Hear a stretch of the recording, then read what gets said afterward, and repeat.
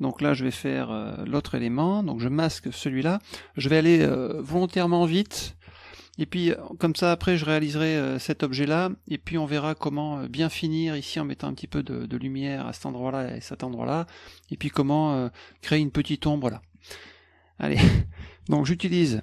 je vais aller donc très très vite. Hein, l'outil courbe de Bézier. Donc comme tout à l'heure, hop, je fais ici cet objet en créant donc plusieurs nœuds.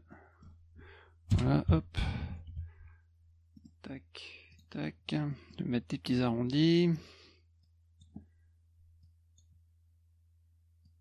Alors il est important d'avoir ici que des poignées lorsque que d'un côté. Donc quand je fais CTRL A et SHIFT S, automatiquement ça s'aligne correctement. Par contre, si vous avez une poignée ici, par exemple de ce côté-là, si je fais CTRL A et SHIFT S, eh bien ça fait un arrondi.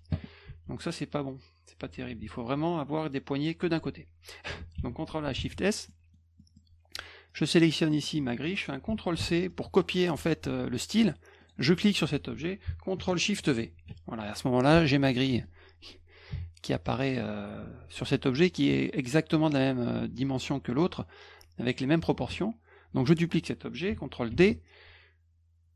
Je clique sur D pour récupérer la couleur, positionne cet objet à l'arrière-plan. Alors je clique sur la touche euh, page down, donc comme ça il vient se mettre euh, en bas. Je vais maintenant faire cette forme-là avec l'outil courbe de Bézier. Donc j'active le magnétisme, shift pourcentage. Comme ceci. Hop. Donc ça c'est ce qu'on a vu ensemble tout à l'heure. Tac, tac. J'appuie sur Entrée, CTRL plus de façon à fermer ma forme contour, j'enlève le fond. Voilà, ici je vais supprimer ce nœud là.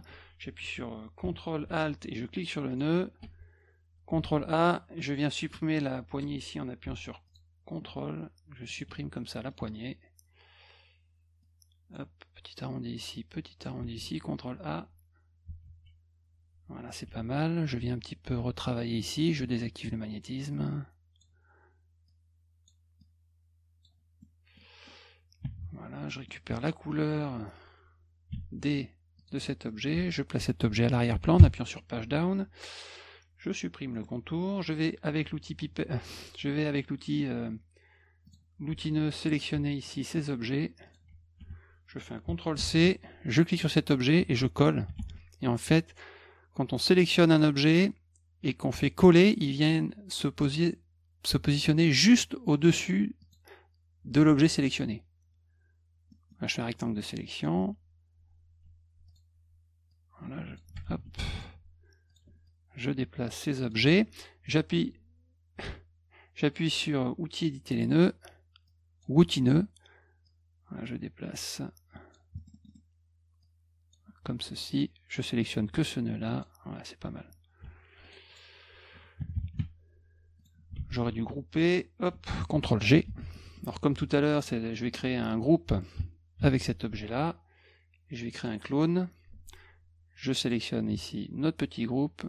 Clic droit, créer une découpe. On peut faire également clic droit ici, créer une découpe. Et puis euh, cet objet, l'objet gris, et puis également le fond. Donc cet objet-là, je dois le remonter. Voilà. Alors là, c'est pas terrible. Je sélectionne avec l'outil du nœud sur ce nœud et je vais déplacer ça. je trouve que c'est un peu mieux comme ça. Allez, on va dire que c'est pas trop mal. Bon, là, je respecte pas trop, mais je trouve que ça fonctionne mieux comme ça. On regarde ce que ça donne. Voilà. Je refais apparaître ici le fond de l'élément 1. Et puis, euh, sur le fond de l'élément 1, ce que je vais créer, donc, c'est cet objet-là avec l'outil plume. Donc je fais un premier nœud, un deuxième, ici, ici. Je me mets ici encore un nœud là, hop. Deux petits nœuds comme ceci. Voilà, c'est pas mal. Ici je fais un petit arrondi. léger arrondi aussi, ici et là. Un petit arrondi ici. CTRL A, SHIFT S. Je mets un contour et je supprime le fond. contour 0,1, ouais c'est pas mal.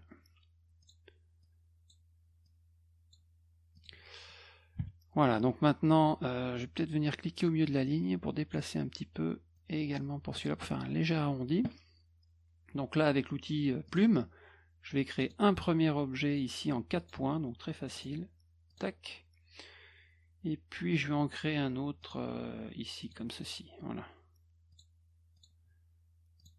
En 5 9 Donc j'appuie sur D, je récupère la couleur, je sélectionne cet objet-là, avec F1, j'appuie sur D, je récupère la couleur ici. Voilà. Je projette cet objet vers l'avant en appuyant sur page up. Et là, je sélectionne donc mon objet, j'appuie sur D et je récupère la couleur. Cet objet, je le groupe. Je crée un clone. Hop. Je sélectionne ces deux objets, je les groupe. Je sélectionne mon clone, clic droit, définir une découpe. Je sélectionne l'ensemble de mes objets et je clique avec la molette de la souris sur la croix pour supprimer les contours. Ces deux objets, alors celui-là et celui-là, ils sont dans le groupe ici. Je fais apparaître la fenêtre fond et contour en cliquant là-dessus et je vais leur mettre un petit flou. Voilà, comme ceci.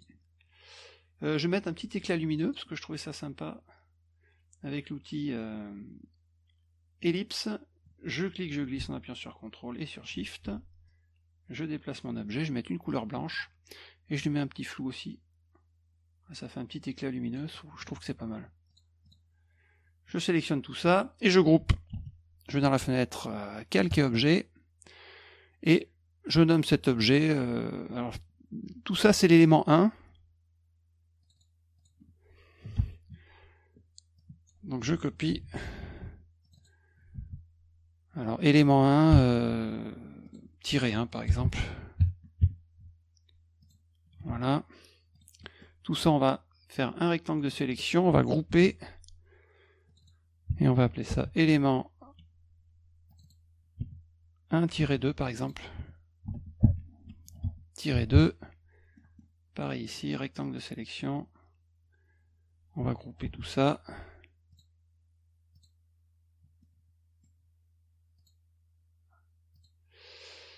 C'est quoi ça? C'est bizarre ça.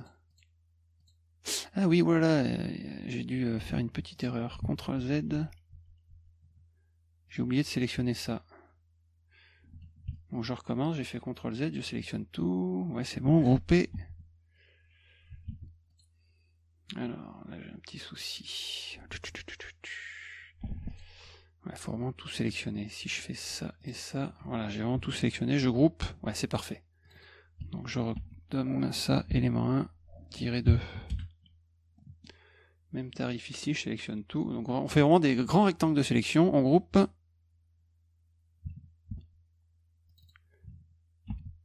Tiré 3. Voilà.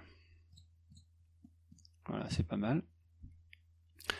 Euh, donc là, on va mettre juste un petit éclat lumineux, là, le long. Je trouve que c'est sympa. Donc pour cela, c'est facile on sélectionne l'outil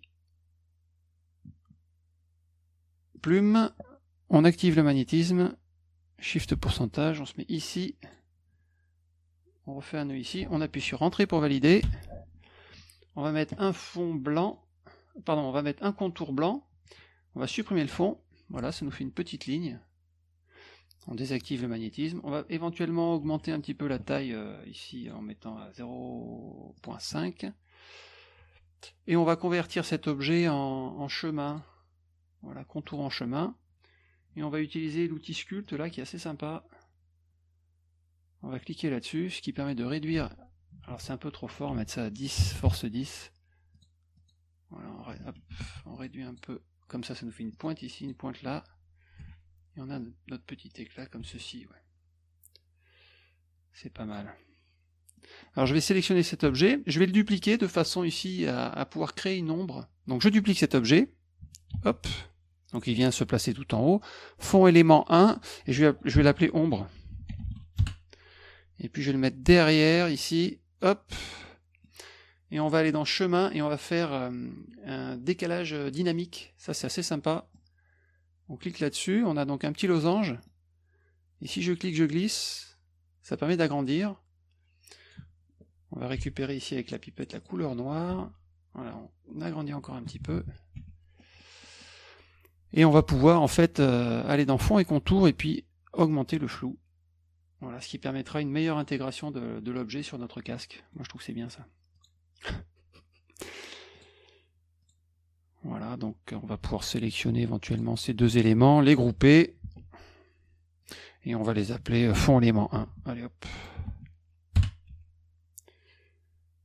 Et on va sélectionner tous ces éléments, on va grouper tout ça, et on va appeler ça élément 1. Tout simplement. On n'oublie pas d'enregistrer. On regarde ce que ça donne. Voilà, on a fait cet objet-là. Hein. En tout cas, je vous remercie d'avoir suivi ce petit tuto. Et je vous dis à bientôt pour la suite.